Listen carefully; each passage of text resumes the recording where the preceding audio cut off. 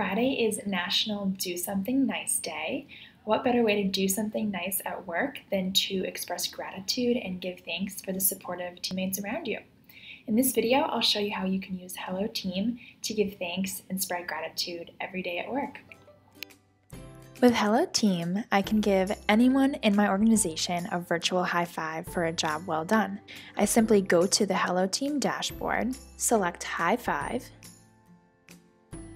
I then write a description for the high five that I'm giving. Then select the teammate that I would like to award the high five with. And it's complete. All the high fives are then stored right on the newsfeed for everyone to see. Thanks for watching. I hope you have fun celebrating National Do Something Nice Day this Friday, October 5th. If you want to learn more ways that HelloTeam can boost workplace culture in your organization, feel free to shoot me an email. Would love to connect with you soon.